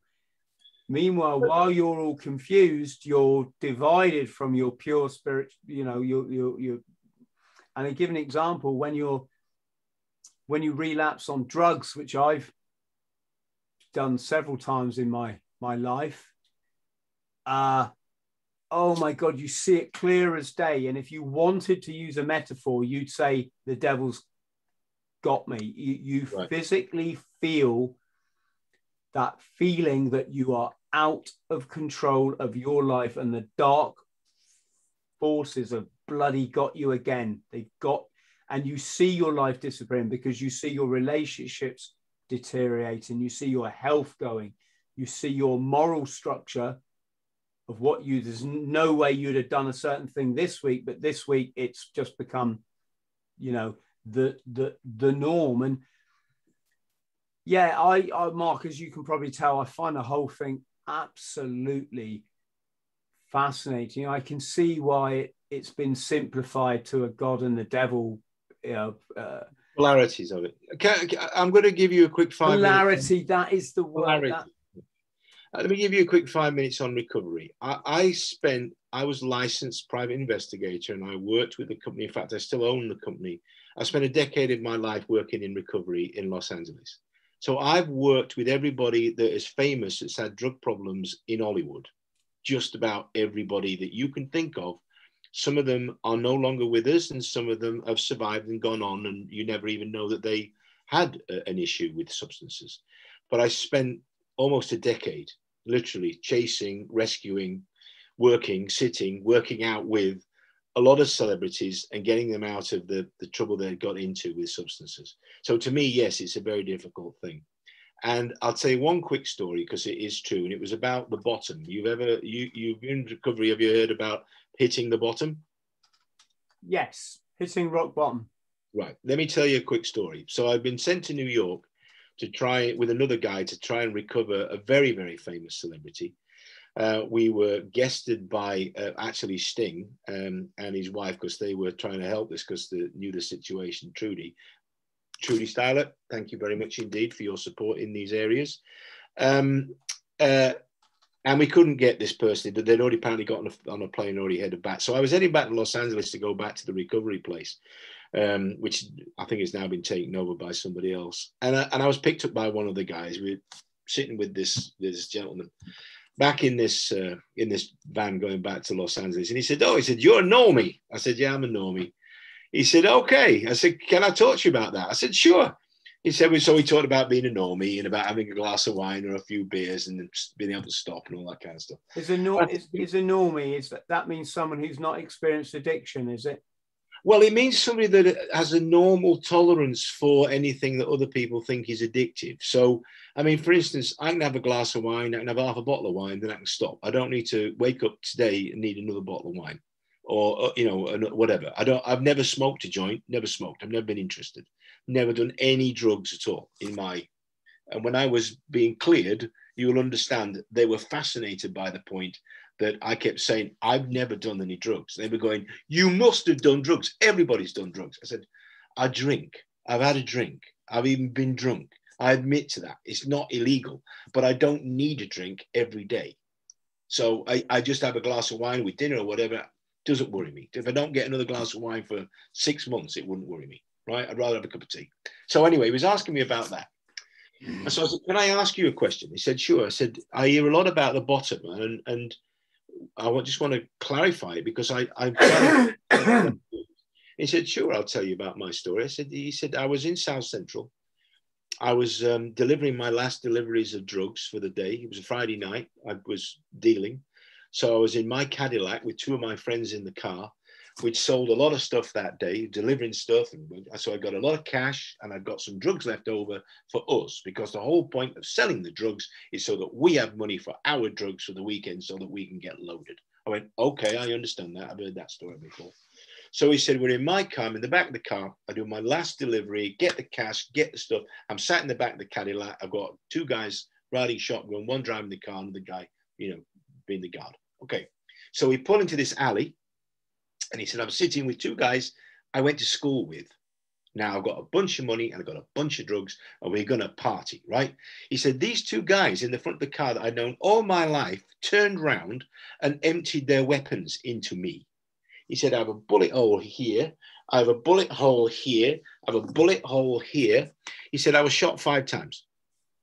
And they dragged me out of my own car, took my money, took my drugs, left me in the gutter to bleed to death, and drove away and stole my car. I said, So there I am lying in a gutter, and I've lost my car, my drugs, my money, and two of my best friends just shot me. And I said, Shit, that's that's the bottom. And he went, That wasn't the bottom. It got worse from there. And I went, I don't need to hear anything else. I said, That, he said, That wasn't the bottom. So, you know, I worked a lot in this area, and some of the people that have made it, and I celebrate the fact that they've made it and they got clean and they have good lives. And the people that didn't, you know, I, I my heart, I couldn't do it after a while, to be honest with you. I had to, I had to walk away because I was losing people that were talented, smart. I cared for them, and I couldn't save them. We couldn't save them, and nobody can. They can only mm. save themselves, like you. As you know, the only person that saved you in the end is you. You have people around you and support you and help you and guide you, but at the end of the day, it's your decision. Yes. Yes, very much. We say drug free on this show, mate, not clean. Okay. Drug free then. Sorry, not a lecture, Mark. It's just people need to understand there's nothing dirty about having a mental health condition. Uh, no, I mean we they, they use it in LA because of that connotation. It comes uh, from it comes from the 12 step program. We know that. And a lot of the language that comes from that program, as much as the good work they do, they they tear they tear a lot of it down by stigmatizing all of us with mental health by using words like clean. So the connotation is that we're dirty and, I, and, and, I I got it from that. I got they, they, they make this polarity that it's a decision you make one day and then you have to be substance free the day after for the rest of your life. It's a process. And yeah, exactly. So, it, and it's a very clever process. And there's a lot to be learned and gained from it, which which we overlook as a society. Um, the only issue I'd say there is if if you're dying and your children are being abused, that can't be happening. Those two scenarios, and then the twelve step program. His that's that's I'd say that's a good option then, right? But for, yeah. young, for youngsters that are just dabbling and for it, it I just I toughed it out, mate. You know, I toughed it out on my own, no help from any. I'm not saying anyone else follows my story. You know, you you you guys live your lives. I I'm just talking about my situation, and um, and yeah, I can't complain how it. I can't complain how it all worked out, and guess I have, I have respect. I have a very good friend that I worked with who um, was seriously alcoholic, and he came from an, a line of alcoholics. And I we talked about this as we're having this conversation now. Mm. And I said to him, "How did you do it?" He said, "I just I did one day decide." I want a life and I want a career. I just have to stop drinking. And again, I said to him, I said, Well, define this for me. He said, I'm not like you, right? If I had a glass of wine, I want a bottle. If I have had a bottle, I want another bottle. And then I want another bottle. And I will not stop until I'm unconscious. And he said, I'll get up the next morning and I want to start again. He said, It's just a difference. It's in my blood. And so I said, And you, what did you do? He said, Cold turkey it. Just made that decision. He said, Maybe one day in the future I'll be able to sit down and have a glass of wine with you, but I can't now. And I went, I would totally respect that. And I respect the fact that if you did the same thing for you, it was your decision and I respect it. Yeah, I've never, a lot of people jump to conclusions with me and they, they, they say, "Oh, Chris is back on the meth," and I just tell them the truth, mate. I, I never stopped. You know, I, I I never had an issue with substances. In fact, to be honest, I don't want to talk too much about them because a lot of it, you know, there was a lot of negative, but there was also a bloody lot of positive. There, there is a reason people do them, right? What I had an issue with was was that my childhood trauma, which was never ever diagnosed, never dealt with, I was allowed to go into the military and carry a machine gun as someone that had come from a seriously damaged childhood, right? Which is, you know,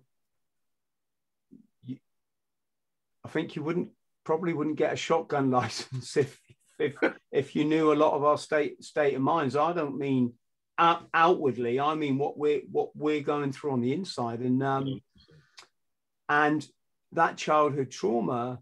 I masked it as an adult with substances. I didn't know I was doing. I just thought I was drinking with the lads, or I was going to a rave or a dance party, and isn't this great? And but I knew that I liked it too much, and of course that's because unbeknown to me, I've spent uh, 25 years of my life living with trauma and i didn't i didn't know it because nobody talked about it doctors didn't understand it families brushed everything under the carpet so you've always got this feeling that's in, an invisible feeling that you're different you know life's different for you things just everyone else's clothes look better than yours. You know, they fit them better.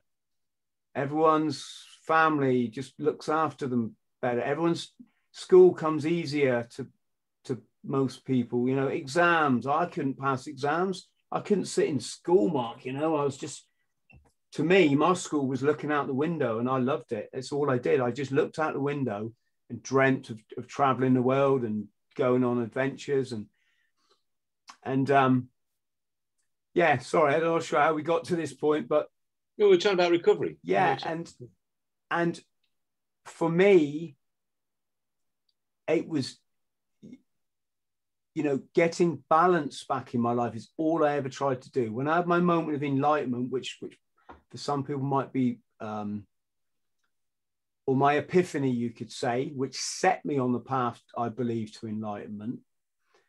Your epiphany is your point at which your life is the lowest. And then you suddenly realize why it's so low. You suddenly realize what you've been, you know, or what your addictive psychology has been telling you, and it's been it, and it's and it's been wrong. And it's at that moment that, that people know they've got to change. And the great thing about that moment is you never can go back in that thought in your head. Once you decide to change, you you you might lapse, relapse, da da da. It's, it's kind of normal. Um, but but my point to people is is is the substances is never the problem. There's always been beer around. There's always been a weed that grows in a field. There's always been laboratory technicians mixing up chemicals in a lab. That's that's always here. It will always be that. That's not the the issue. Is internally is your temple. Yeah. Is it something like that, Mark? Am I, I'm kind of making sense, aren't I, roughly? No, I think of all the conversations I've had with people, uh, you know, about these things, it always stems from usually probably from some kind of childhood trauma or some a uh, thing of self-worth, or you use the word masking uh, of something that they believe that they they may not even be aware of it until much later on. So the whole re- recovery process literally is a step by step. And yeah, I sure I know people that have seen, you know, I need to do something and they've relapsed or they've had another thing, but but it's a process of rebuilding.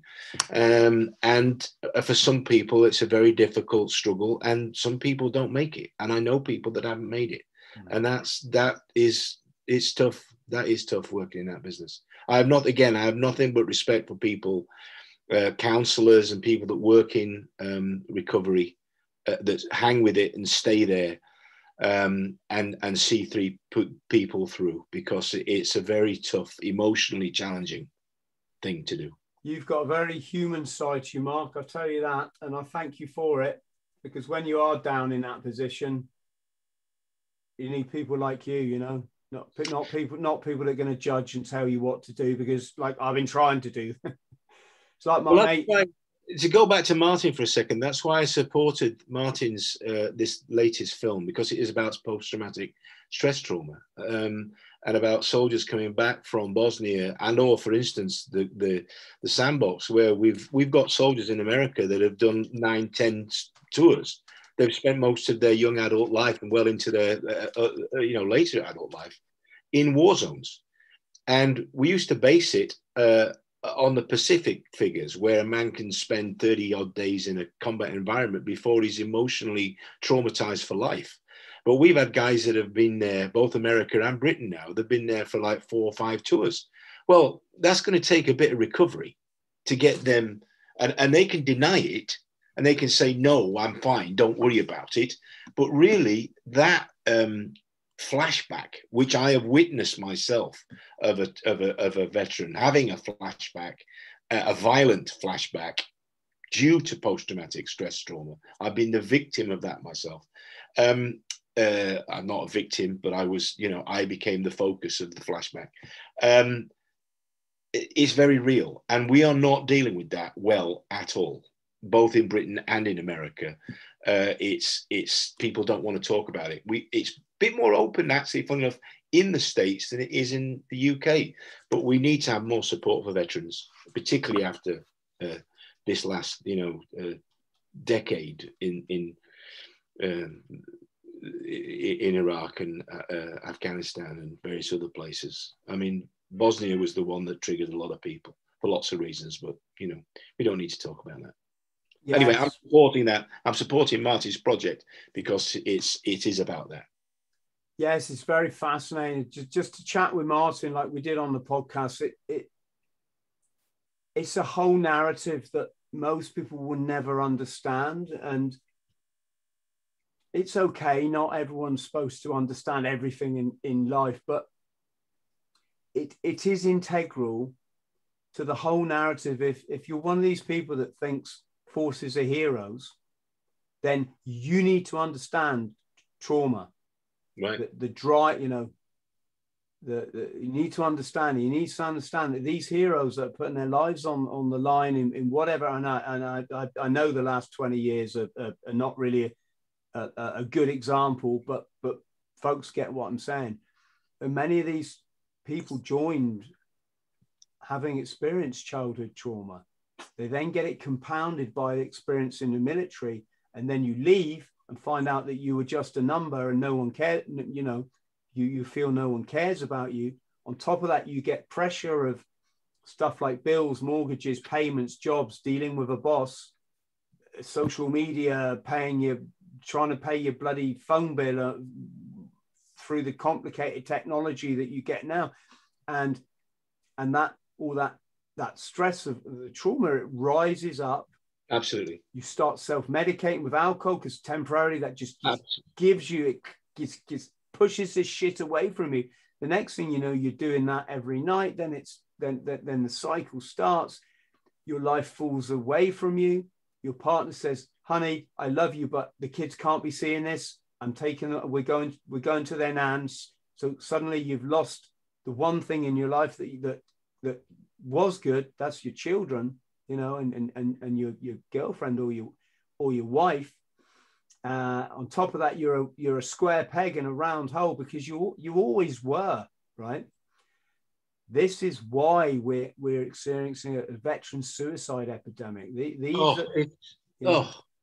And, 22 a day at one point. And on top of that, imagine if you, you know, you've been sent into a, com- a theater of war you've had to do the ultimate in in acts, let's say, and then you find out people like Tony Blair just laughing at you because they played you all they played you all along, and they've got fucking mega rich off the back of of, of your you know what's going to be your you taking your life or people coming back with no legs, no eyes, this kind of stuff.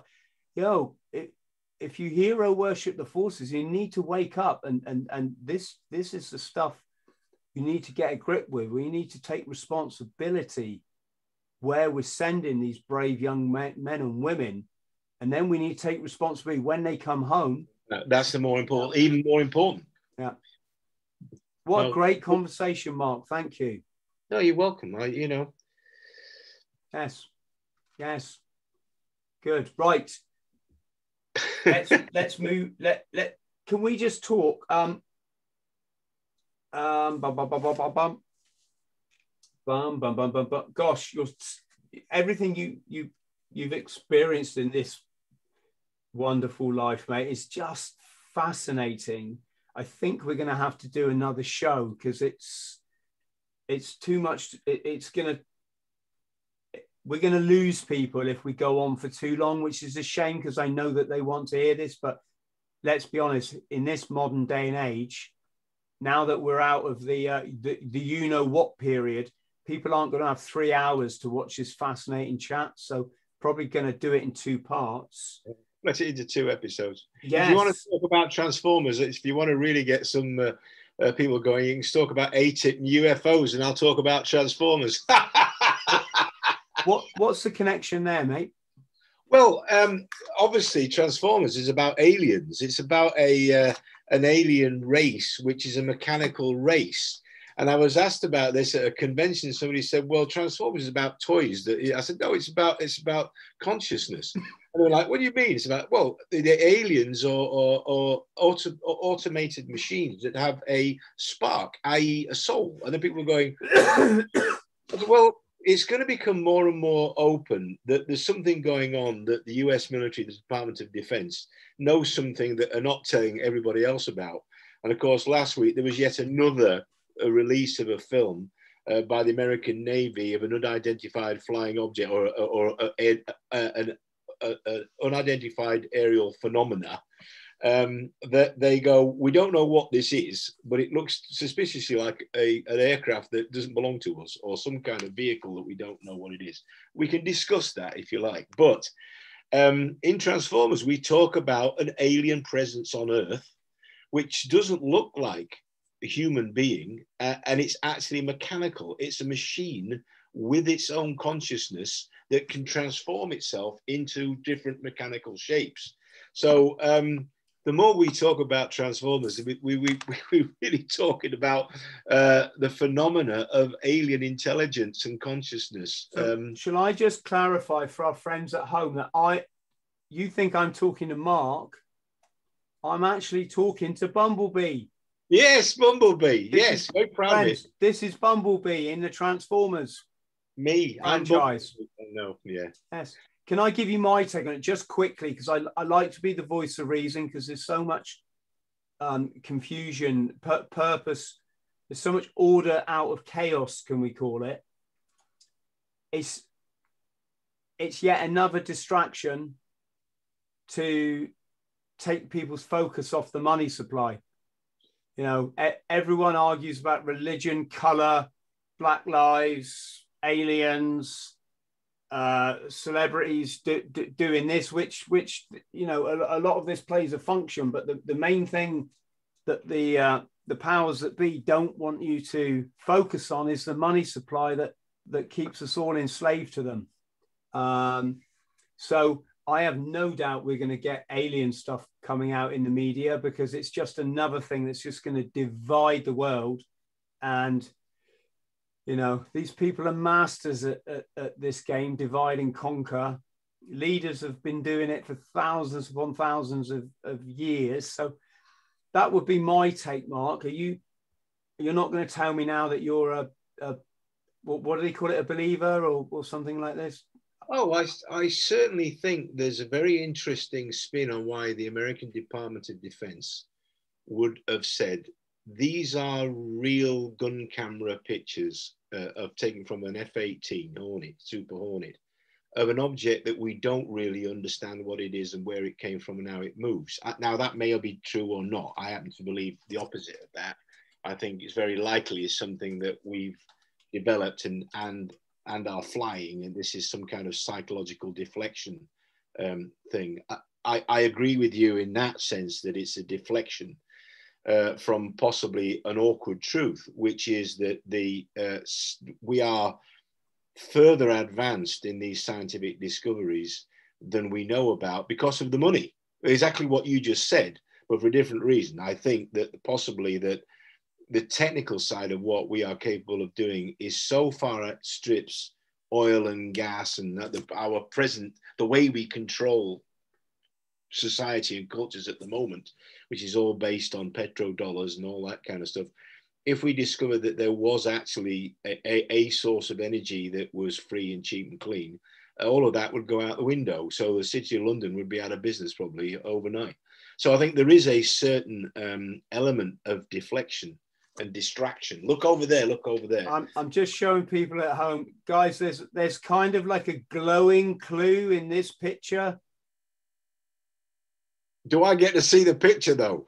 I'm, I'm just flashing. it. if CNN and CNN are behind it, or Fox, or whoever the network is, it's it's not in your best interest, folks, to believe in it. I, it's that's my take on it. Um, you know, these are the people that have just brought you 20 years of slaughter in the Middle East, and and no disrespect, but you all fell for it.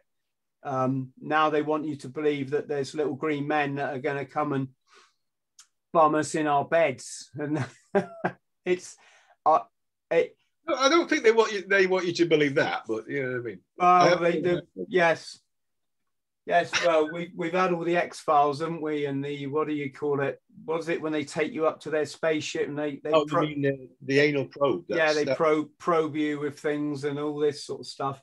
It can we say can we say anal probe on this podcast? Yes, we can say. I think, I think there's a lot of distraction oh, going on for lots. I didn't of... mean that word actually. That actually means to probe someone anally, doesn't it? I meant, I meant okay. You can say blimey if you like. I didn't I didn't hear the words, so I, you know, I didn't hear what you said. Oh, something. I'll probably go to um to YouTube jail, mate. So I'm not going to say it again. Cut it out, bleep it out. You'll be fine. Um, no, I, I, think there is distraction in it. But anyway, the Transformers, the whole point of the Transformers is about a alien sentient race that comes to, for refuge uh, on planet Earth and makes its its home here and ends up defending. And in many ways, the robots themselves, the Transformers themselves, imbue the best uh, and the worst of of human character. For instance, Optimus Prime is seen as this father protective figure of of the Autobots. Bumblebee, and I've been asked this again about the character and asked what why Bumblebee is so popular is because he he is an embodiment of everything which is kind and fair and loyal uh, uh, uh, um, in human nature. There's many things within the character that are very human. And the, for me, one of the great successes of the franchise was that they were able to take these basically digital models, because we only ever built um, one actual robot. So we only ever built one transformer, and that was Bumblebee. And he's at the studios. He's at Paramount Studios, um, and he was too big. He was two and a half tons. A mate of mine, Chris, built him, and he was two tons of car parts, and it took too long to move him around the set. So everything else is CGI. So it was to me, it was a miracle that they were able to imbue these characters that you see on the screen that are actually there. Uh, I have to imagine that they're there when we're doing the dialogue with whoever it is, if it's Anthony Hopkins or any of the actors that are there, um, uh, and Mark Wahlberg or any of these guys. You know, um, we we have to imagine that they're there and put them in the on the screen in our heads. And uh, they managed to make these characters, particularly Bumblebee, very human and very relatable to their their their sense of, of, of loyalty and their sense of, of caring is very similar to human traits. And even the awkward ones, the ones that have got, you know, um, Ratchet and all these different characters, have human characters that we can relate to. So that's one of the reasons that the franchise was so mm. successful. I mean, five films a decade, I ended up being on the set uh, with Michael Bay on and off. Um, you you know what I'm going to ask you to do, don't you? Oh God. I'm going to be cheesy, um, cheesy host. Got to do the voice, mate. Come on. I've got, well, I've got I'll, Bumblebee up on the picture. I'll jump him up and down as you're talking. Oh, permission to speak, sir. I wish to stay with the boy. That was Bumblebee. One of the other ones, which was always got a laugh for me, was I was in the studio one day doing this character, and, and Michael looked at me and said, Who is that? I said, It's my mate Ray Winstone. He went, Oh, I thought I recognized that voice. He said, Do it again. I went, Behold the glory of the Jetfire. I'm a mercenary doombringer, you know. So I, I, was like doing, I was doing Ray, Marky. How are you, Marky? What's going on, my son? How are you? When are we going to get together? Hey, come on then, come on. Okay, what's going on? Um, so I was doing Raymondo for Jetfire, uh, but I also I've done on the set. I've been everybody. I was I was Optimus Prime. I was the Lockdown. Lockdown was my favorite. The Lamborghini. Bumblebee was was a great character to play, and I, we had a lot of fun with Bumblebee. Um, but was he honestly called Lockdown? Huh? He's honest. His name is Lockdown. Correct. The character on the fourth film was the Lamborghini that was the one of the most interesting characters actually uh, was Lockdown, and Lockdown was the um, basically a bounty hunter that hunted the other Autobots through the universe, and he was a very cold mercenary, um, amoral character that didn't care about the Autobots or the Decepticons. Um, and in fact, his first line is um, Autobots, Decepticons, always causing a mess wherever I go in the universe. Is he the dude that looks like an advanced version of Robocop? Um, he sort of was a big sort of um, he had a green face with a gun that came out of his head and uh, and, a, and, a, hook and uh, he flew in with his spaceship he had his own spaceship which he rounded the universe capturing taking prisoner all the autobots so they could all be returned back to their home planet so uh, lockdown was a um, was a fascinating character to play and i think it's actually one of the fan favorites you know you humans always making a mess and then i have to clean it up friends at home, if you're watching, tell me if the chap I put is this lockdown. What are your thoughts? and um, good kudos, mate. I mean, you know, smashing it there in Hollywood. Five blockbuster uh, uh, movies. There was um, I got I got approached by.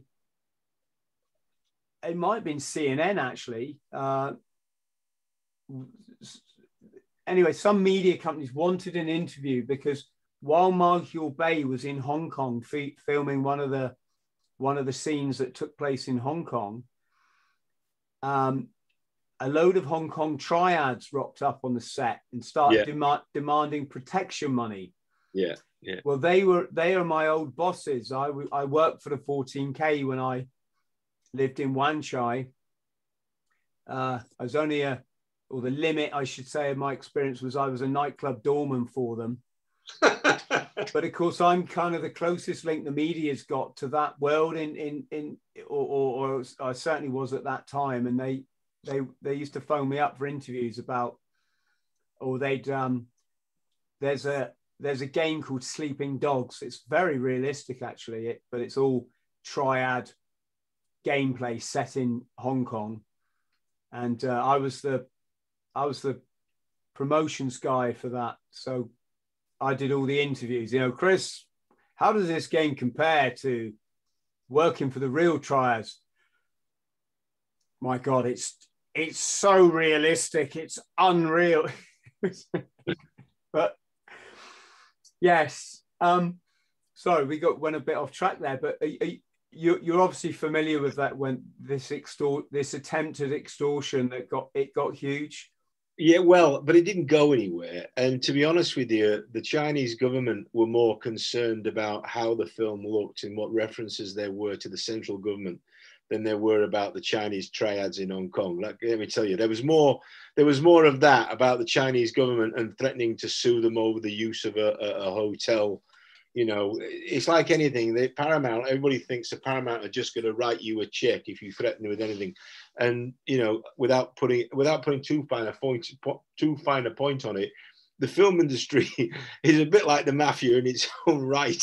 So trying to threaten Paramount was a little bit like, uh, no, guys, you don't you don't understand. Um, anyway, the Chinese government got their way, and a line was added into the film to to protect them. But uh, to be honest with you, I think Bay is perfectly capable of, of aiming somebody off the set anyway in his own right. He's always got a he's got a security team with him, run by my mate, my old pal Harry Humphreys, a top man. Give Harry a quick plug. So Harry has always got guys around the set, you know, uh, looking after people. But Michael's not that type of guy. He's not somebody that's going to go, here's 20 bucks, disappear. He's, he's not like that. He would have, I think he hit somebody over the head with an air, with an air uh, um, cleaner or something, or a fan or something. Somebody came up and threatened him with a knife and he smacked him over the head with a, with something. You know, Bay would do that. He's the kind of guy. That I heard something about that. Yes, yes. I'm just flashing some pictures of me in Hong Kong up on the screen. There we go, guys, just to keep you all interested. Not that Mark's not riveting.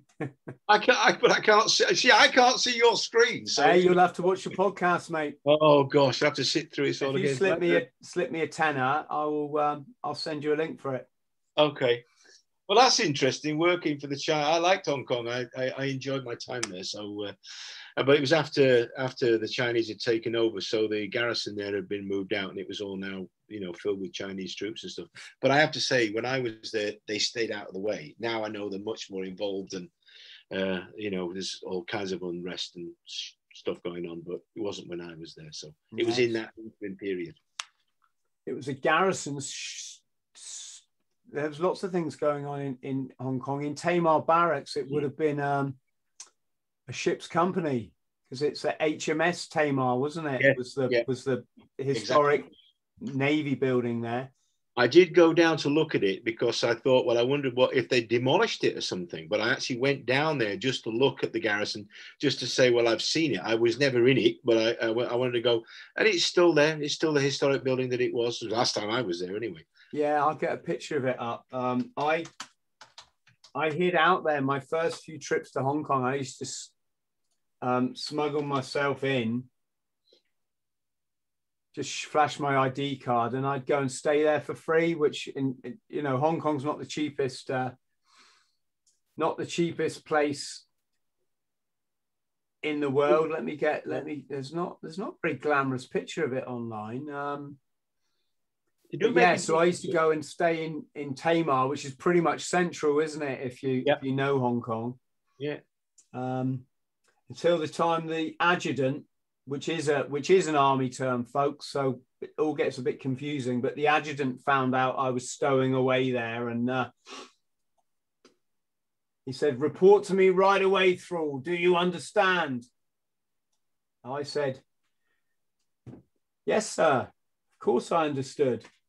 Whether I reported to him right away was a separate issue as far as I'm concerned, and I, I literally ran out of the place with all my rucksack. It's all in my um, my book, Eating Smoke, Smoke, folks, which is one of the books up you can see up here, or, or you can in a second. And uh, yeah, I ran away from HSN, HMS Tamar with my Bergen on and my briefcase in my hand, and and that was it. I was out of the British military for for good then, and uh, on my own two feet. And we all know how that panned out.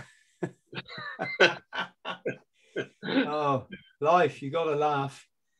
So, Mark, listen, absolutely fantastic.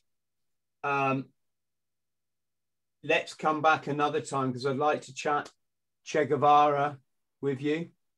Sure.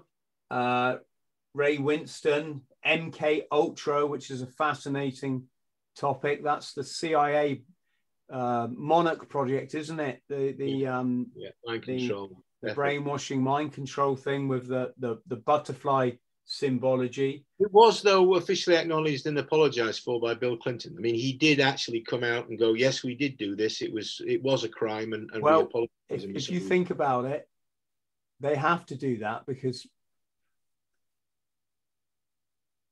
they can't admit to it still going on. And well, that's, a different conversation. Yes, but the notion that what they came out and said is, oh yeah, we did have that project in the 50s, but we discontinued it, right? Well, if you were able to brainwash people in powerful places, so the heads of state in other nations or Hollywood celebs, whatever, people in, in positions of influence, like you're really going to ditch that program? I, I'd be a bit skeptical of that, Mark, but Well, well, there's a conversation to be had. Uh, Have you ever heard the expression V to K? V2K. B to K, it sounds like a comedian. V2K. No. V2K. Yeah, what does it mean? Voice to skull.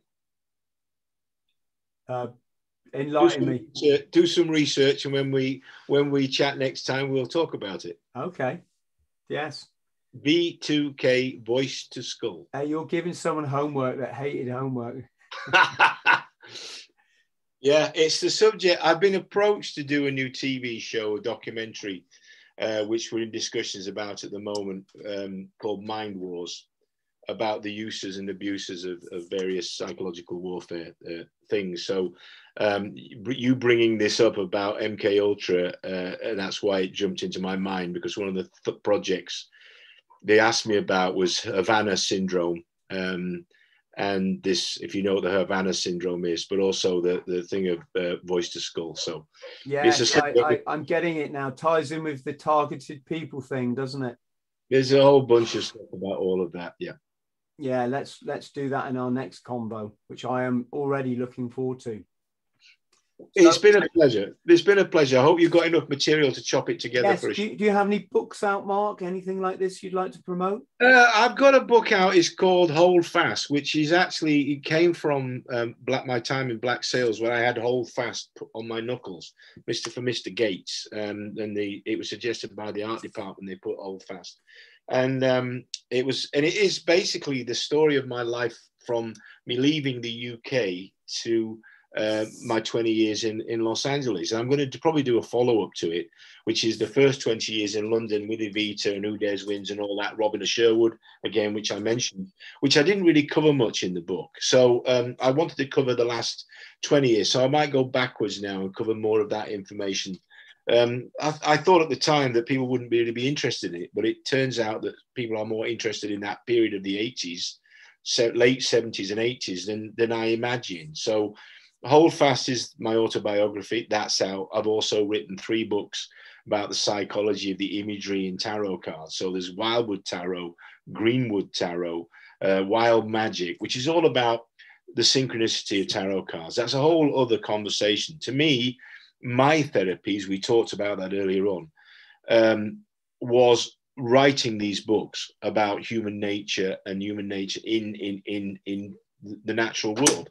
So tarot cards to me were my way of processing information in a way that I could manage it and understanding human human uh, nature.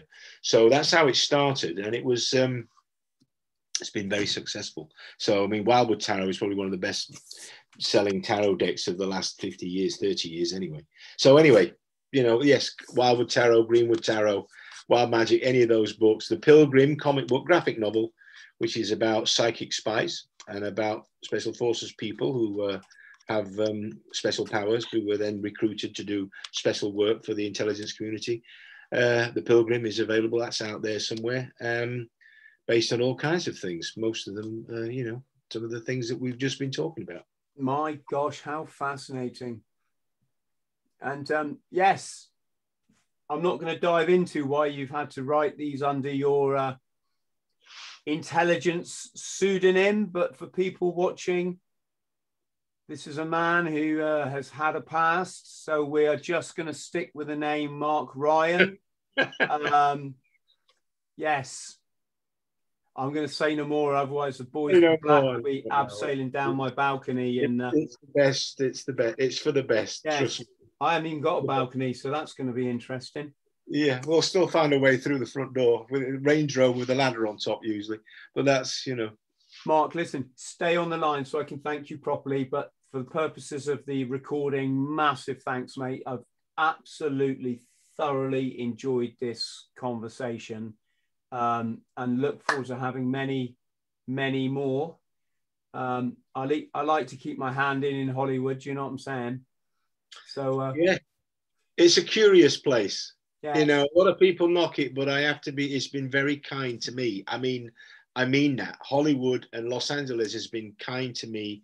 I'll always be grateful for them welcoming me in and giving me a shot. My first shot was on Frasier, you know, the TV show Frasier, and you know, I've always been grateful since. So I love it there. Southern California is fantastic. But anyway, brilliant, brilliant, brilliant. Thank you again, mate. To our friends at home Massive love to you all. Please look after yourselves. Please be kind to each other. And if you can like and subscribe, especially as I flash the flashy thing up three times then for you. Um, I will love you even more. So see you next time. Thank you. Take care. Be well, everybody. Hello, friend. I hope this finds you well. My name's Chris Thrall. I'm a former Royal Marines Commando, and I fought my way back from chronic trauma to live, work, and travel in 80 countries across all seven continents, achieving all of my dreams and goals along the way. Now I pass my simple system on to other people, but I can only help you if you like and subscribe. So please do so because you get one life, and if you live it right, one is enough.